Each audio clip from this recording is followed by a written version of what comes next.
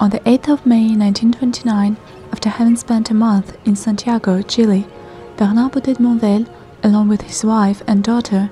boarded the steamship Avelona,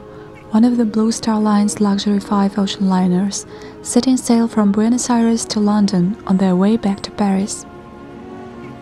The couple was photographed several times during the crossing. One shot shows them on the lower steps of the access ladder leading from the liner's upper promenade deck to the boat deck. The latter deck fitted with two merchant black dorade vents, a white tarp-coveted lifebuoy holder, and two monumental funnels that were painted in the line's standard colors, red with a black banded top and an azure blue star on a white disc. The beauty of the ocean liner's cubist forms and oversized dimensions already fascinated Boutet Monvel when he sailed from Le Havre to New York aboard the CGT steamship France in October of 1927.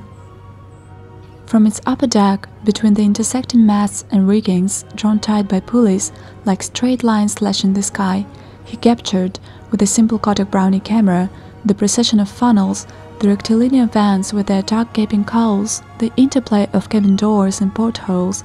the abyssal gangways, the ventilator stacks and winches and hoists. The artist's magical vision transforming these perfect geometric figures into cubes, rectangles, and squares in some instances, and in others into circles, discs, and cylinders, either round or elliptical. Under exclusive contract to provide large format illustrations to Harper's Bazaar magazine on a regular basis, Boutet Monvel based the illustration that was to appear in the September 1929 issue on one of the photographs he took of his wife and daughter during the crossing.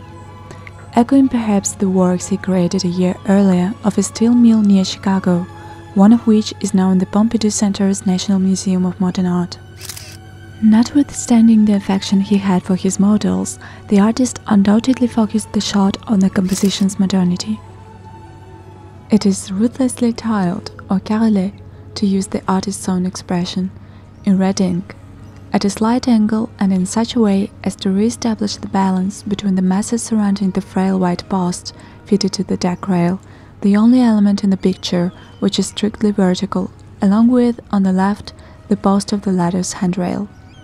In the artist's vision, the latter, a remnant of a barrier, had become dispensable like so many other details crossbars placed under the rungs, electric cable sheaths, automatic door closing mechanisms,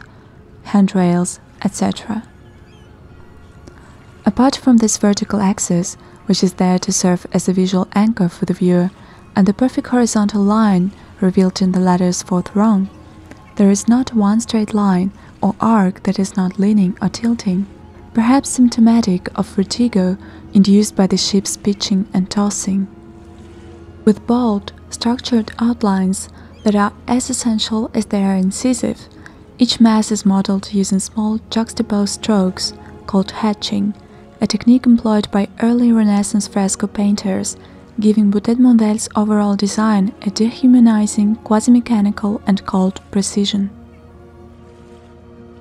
That same year, 1929, the American artist Charles Schiller, who was presumably commissioned to photograph the steamship Majestic, used one of his own photographs as the source for a painting he named Upper Deck,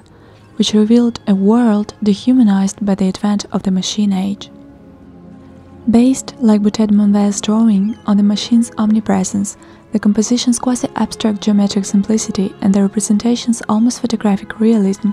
Upper Deck became an icon of Precisionism, the first American modern art movement, the influence of which was felt right through to pop art.